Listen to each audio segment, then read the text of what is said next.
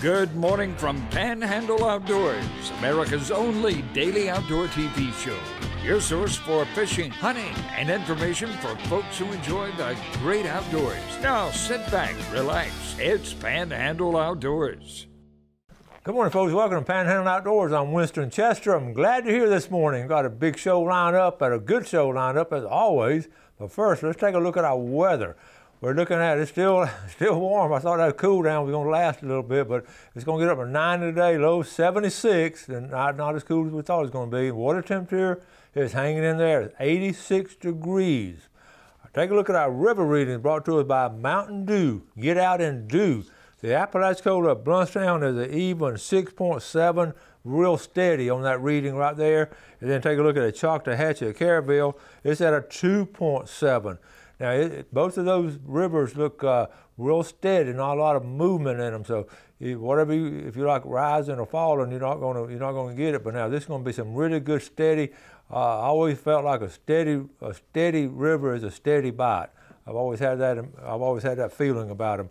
So uh, you know, not, not, that big adjustment. So if you like river and creek fishing, it's going to be a good weekend to do that. Take a look at our tide chart brought to us by Kent Forest Lawn, right here on 23rd Street. We're looking at today, today is the actually 9th of, of September, and we're looking at a high tide at 144 this morning and a low tide at 1259. Good tides. We've got the next five or six days going to be really strong tides. And it's going to be uh, sort of, the wind now is still coming out of north northeast, and so we're going to hold that tide out just a little bit in some of the base systems up on the northern shore. And we're looking at it coming out of northeast at about 11. Okay, so it's, it's going to be uh, the high tide is like I say 144 this morning, and low tide is at 12:59. All right, let's take a, a break, and we'll be right back. All right, welcome back. Winston Chester here, survivor of a hurricane, of a tornado, and an earthquake all in one week. Did y'all hear about that story? Uh, yesterday, I, I talked about Hurricane Michael. It was actually Hurricane Laura that went north through Louisiana, then went east toward Tennessee. But I'm going to get a lot of mileage off that surviving all three of those natural disasters. Okay. All right, look, you know, if you're in the South and drive around these country roads up in Alabama or Georgia or North Florida, you're liable to run across a sign like this, especially this time of year, the end of the summer, all kinds of things going on. Check this out. This roadside, the top left-hand corner, let's go from top to bottom, maters, taters, cucumber, and peach. Okay, and then on the right column, yeller, squash, zucchini, okra, and purple hull peas. Okay, which is purple hull. But that, I got a kick out of that. I sent that to my uh, to, to, my grandkids and told them I had figured out. They couldn't quite figure out all of them, but anyway, that's uh, you'll you'll see that. And it made me think about all the old timers back in the day where they would get all the vegetables and and they'd get them all together in South Alabama, South Georgia, and come down here to the coast, and they'd be swapping off in October. They'd be swapping off these vegetables here. Would be swapping off these wooden barrel full of salted fish, and that was always I love that part of that history because everybody helping. Uh, okay, we've had Andy Cobb on the show before. Andy Cobb is a, uh, you know, works with U.S. Forest Service and does a good job. I want to get him back on as soon as things settle down and Andy's wife, uh, what happened, Andy, they had a place in Mexico Beach and they got wiped out. And he had a really nice boat down there and he just got, he just got total. He, he just got, and by the way, I hope you got to see that uh, Hurricane Michael special on the Weather Channel. That was very interesting. And he's going to be showing it again. But anyway, his wife uh, got, put this on, uh, got tired of seeing everyone's boat price, everybody's boat picked on the weekend. I finally closed the deal on this bad boy. This is a joke they put together, but this is uh, well, Andy Cobb has him a boat now, so if you see him, congratulate him on the boat and uh, tell him he probably needs to get a life jacket in there and everything will be okay. All right, let's move on to some really serious stuff now. Colton Wall hunting with his dad. Okay, Derek Wall, he's a dentist up there in Lynn Haven. Uh, his kids came through Mosley, and his great kids, and Colton was in my outdoor class, and he's finished up college, I think, now. But they went hunting, and they were in Ogdensburg, that's uh, Utah, and look at there. Is that not a classic picture? What a huge animal there. Look at that. Look at that. Wow, still in velvet. Good job. I know. I know. Uh, let's go from big monsters to. Uh, we still got a monster in the picture, but Bill Shields. Uh, y'all know Bill. He's been on the show before. Look what he caught down. We're talking about going creek fishing, and Bill loves to go creek fishing, and he's really proud of that. But Bill is quite the consummate outdoorsman, and he he does some good little videos on his phone, and I, I need to show some of them because he's a real deal, sort of like Billy Grantham. All right, good job, Bill Shields. Bob Bob Billsma, watch your show. He he and uh, Levon watch your show all the time. He this is our first bear picture of the year, but they're they're going to be. Are they trained to go to where the feeders are? He's just waiting for it to come out. Is that not funny? And our bear population is thriving. We have some. We have a lot of bears here, and so uh, if you want to feed them, fine. If you want to try to keep them out of there, uh, good luck. But uh, be aware of the bears. Okay. Anyone know when them black-eyed peas we ate for good luck on New Year's supposed to kick in? Does that not go along with 20, the year 2020? All right. Ernie Regadio, my neighbor up there in Southport. Hey, coach, this is a picture of my grandson Toon with his mangrove snapper. They call it Tyndall. He got three keepers. Now listen, that is some really fine eating, and I've seen a lot of folks have been hitting the mangrove snapper this past couple of weeks. They've been really hot. Uh, and I, I said, hey, Ernie, that's awesome. I'll get you on the show. How old is he? He is six. I first took him fishing when he was two and a half. He didn't want me to cast for him. he did it by himself. After I showed him how one time, I said, smart boy. So good job, Ernie. Way to go with that. Trey Groom posted this with a group of boys at what they call a not so serious Saturday tournament. Now, this is important for all of us. To anyone who is fishing Deer Point Lake in the near future, there's a new log right in the middle of Bear Creek entrance from the main lake looks small in a photo, but it's a big one. So you see it right there, and that's you know all the winds and storms we have. That can really, uh, especially people going fast, think it's just something small there. But those big logs can really put a hurting on a foot of a motor. Be aware of that. Okay, don't forget I mentioned this time or two. This is coming up now. Saturday, September 26th is not that far from here. The Seasons of Hope, Southeastern Dog Hunters, Apalachicola uh, National Trash Cleanup. Okay. And I just, uh, we're talking about Labor Day traffic. This, this is 331. We're going to talk about Labor Day later with all the people. This is 331 coming out of Freeport going north toward Defuniak Springs uh, Monday after lunch, headed back. So it was just wall to wall people, not only over in Walton County, it was, it was wall to wall here in Bay County and also in Gulf County. Okay my buddy Chris Knox. We talked about on the Friday fishing report, the last two Fridays, we talked about getting getting some crabs. And he and Chantrell, they got a, does that not look good? Good job, Chris Knox. Okay, that takes care of, well, I got, I got one more. I want to show you this one too. This is Nathan Stuckey. Uh, yes, this, these are ticks. Ticks are out in late summer. Now, these are baby ticks, okay? But now, that would put a hurting on you. If you walk it through there, that special kind of a cloth there, so they just sort of stuck to it. It looks like it's tick farming, but uh, be aware of the ticks out there right now, especially walking through the woods. Okay, okay, I got some more stuff. Let's go and take a break now. We'll be right back.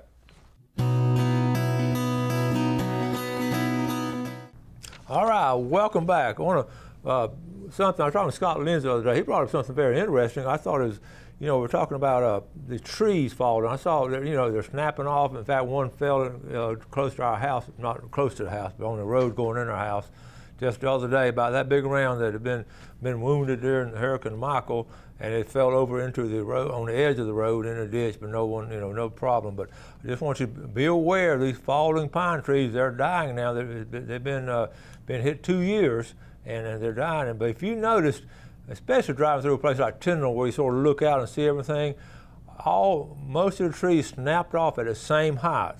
And Scott was talking to me the other day. He talked to someone and brought up a very valid point. I, I hadn't thought about it. You know, one of those one of those trees, those pine trees, snap off at, at basically the same height all, all the way through for the most part. And and the guy told him, and it made a lot of sense, that this that's where the sap, the pine tree tar, the, the sap, where it has settled down. Because remember, in the, in the, springtime and summer, the sap rises up in the pine tree, okay, and then that's when it, that's where they get it. And then in the cold weather, it starts coming back down. So in October, of course, it had been coming about halfway back down the tree. and that's about where you know, above there was weak, and below that was strong with the sap, and it said snapped off right there. So I thought that was an interesting point. Pass that on to you. It's amazing what you just never you never stop learning. You can learn all your life and all. And uh, but anyway, I was talking about trees and walking in the woods, and I, I was in a situation the other day. I was uh, down at, at our Cape House. I was pulling some some weeds and all. It's pretty thick in the area. I I, we have ground rattlesnakes down there, ground rattlers, and and they're you know they're not big, but they're hard to see. And I'm, I'm reaching in there and pulling stuff up, and I'm thinking I know better. I know better. So I put a glove. I put a glove on my left hand. I kept pulling my right hand. Don't don't, ask me to explain that, but I could just get a better grip pulling the weeds. And I got to thinking, if I got snake bit out here on Cape San Blas, uh, I've got to you know take a little bit of time to get back to the hospital. What would I do? And I'm always you know back in the day you'd you'd cut it and all that, but, but you know we don't do that anymore. And I happened when I took my break, I went inside and I, I, thought about you know what would I you know what would I do? I know you want to keep it uh, below your heart, so I read the four things because I, I, really thought I might get snake bit in that thick stuff because uh, three out of four times I'm seeing the ground rattlers all through there. But anyway, first okay, here's the four things that they, they recommend. Remove any jewelry or watches so that uh, they could cut it through the skin. Number one right there. If swelling occurs, number one. Okay, number two, that second dot Keep the area of the bite below the heart in order to slow the spread of venom through the bloodstream. Number three, remain still and calm. If you can roll over to your side and rest in the recovery position, that would be good. Moving around a lot will cause the venom to spread faster. You know that. You don't want your heart to beat fast. You got to stay calm. It's going to be hard to do when you're bit by a snake. And the last one, this is important now. Cover the bite with a clean, dry bandage. Try to use a pressure and mobilization bandage if you can, like a gauze, a gauze wrap. This type of bandage should be tightly wrapped around the bite. Then wrap another bandage around the entire limb so that it's immobilized. So basically, what I'd already figured out when I went back out there, if I got bit, I probably won't get bit right in here. Then obviously I was going to, you know, keep it dry. But see, earlier I was thinking, for some reason I read somewhere where you put it in ice and all, but it said don't do that. In fact, let's look at things that says don't do. This is interesting. What shouldn't you do? Okay, what shouldn't you do when treating a snake bite? Don't, okay, don't pick up the snake or try to wrap it up or kill it. Now, my first instinct, I'm gonna kill that snake, and this will increase your chance of getting bit again. Even dead snakes can bite. This is true now. Hard, hard to believe, but they've, researchers have shown it time and time again. I've seen it. Dead snakes can, will keep on moving their jaws. And the second one, which most of us still think about doing, don't apply tourniquet. And number three, don't cut into the wound at all. And we used to, you know, back in the day, we'd supposed to cut and let it bleed out. Well, you don't, it don't bleed out. The next one, don't try to suck out the venom. You watch some of these old movies, and that's what they were trying to do. And here's what the one after that: don't apply ice or use water. See, I, I thought ice would be good for it because it would it would really you know contract the muscles and contract the cells. But no, they're saying not to. Don't drink alcohol. Don't worry about that. Uh, then the next one, don't drink beverages with caffeine, which makes sense. Your heart's going to beat a little bit faster. And the last one, and I didn't, you know, this I, I, I, could see people doing this. Last one, don't take any pain relieving medication, such as ibuprofen, Advil, or anything like that. So those are things you don't do. And they, uh, you know, I've been an outdoorsman my whole life, and, and I, I know these things, but it's not it's not bad every now and then to refresh your memory because I hadn't really read about snake bites in years. And like I say, it's been an evolution of how to treat snake bites. And if you're outdoorsman around my generation, you know what I'm talking about what's changing. So, uh, I, you know, so I was thinking when I went back outside to, to pull some more weeds and all bushes and all, I was thinking I was probably gonna get bit right in here if I got bit. So what I was gonna do, you know, I had I had gauze, I have gauze in my truck, so I was just gonna wrap it really tight, really tight, and I'll keep it down in here and, and, and uh, let Gail drive me to the hospital. And and but uh, I won't do anything else to it. And we're gonna cut it and all those things like that. So keep those things in mind. I, a lot of times you sort of try to envision yourself in, in situations maybe of danger of, and what you would do. I've always done that. You know, what if I fell down in that gully over there? What if I fell out of the boat over here? What would I do? I've always sort of uh, preempted what I. If, look, fortunately, I've been blessed. None of those bad things have happened to me. I have been bit one time with a snake, but uh, it, it, it uh, I, I, survived it along with a hurricane and tornado and earthquakes. but uh, it, it wasn't a bad little uh, little uh, rat snake. It wasn't bad. Okay, let's uh, let's go and take our break. We'll be right back.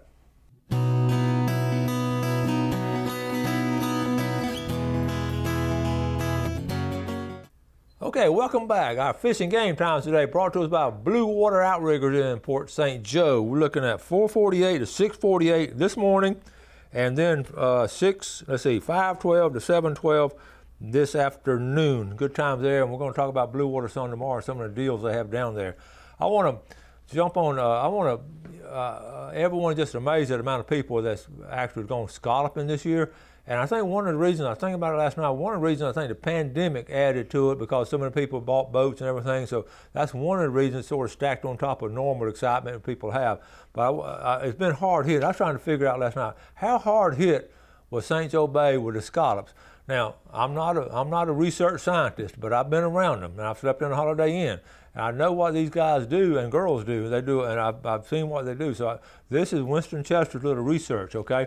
Now, the season is six weeks, but it only covers five weekends, okay? Uh, and also, so what I did, uh, I'm averaging, oh, okay, everybody's told me between three and 400 boats, okay, out there. So what I'm did, I did uh, six weeks of five okay, and plus, I personally counted around 75 kayaks uh, Sunday afternoon uh, uh, uh, just in one area where the kayak launch there, the stump hole. that's been incredible. And then so uh, anyway, so I did three weekends at 400. Okay, so that's three weekends at 400 boats. That's a Saturday and Sunday. So three times eight is 2,400. Okay, okay, that's 20, 2,400. 2,400. Okay, y'all follow me now. Y'all pay attention. That back row out there. Okay, now the two the two weekends. Uh, I'm to say the last two weekends they didn't quite get that many, so they're only going to get 300 on Saturday and Sunday. So those boats, and see, I'm, I'm counting. Uh, that's going to be about uh, two times three, to be up 600.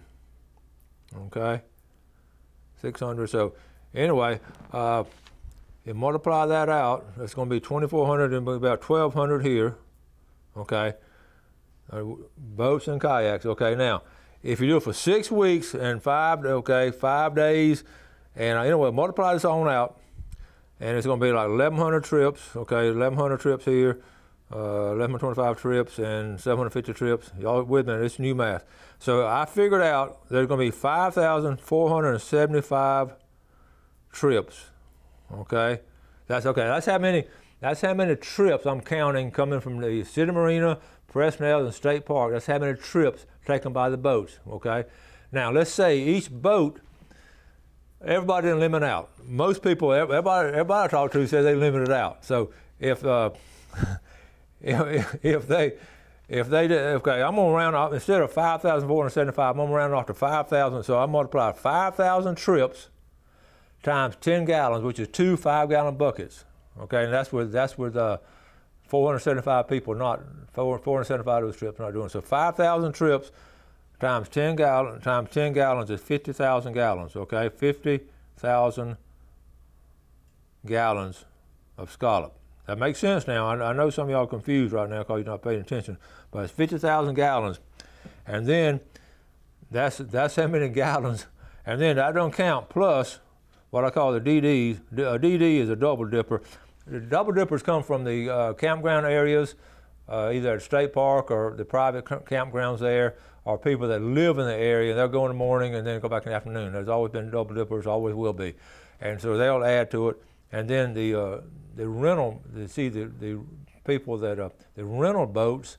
Uh, there are a lot of rental boats there now. So anyway, I'm, I'm figuring there were 50,000 gallons of, of scallops taken out of a out of St. Joe Bay this year, and I, am assuming it's going to, uh, you know, last the last three weeks. I, I, said it won't be quite that many, but be aware of that. Uh, it's just uh, amazing to me the, the amount of pressure on them.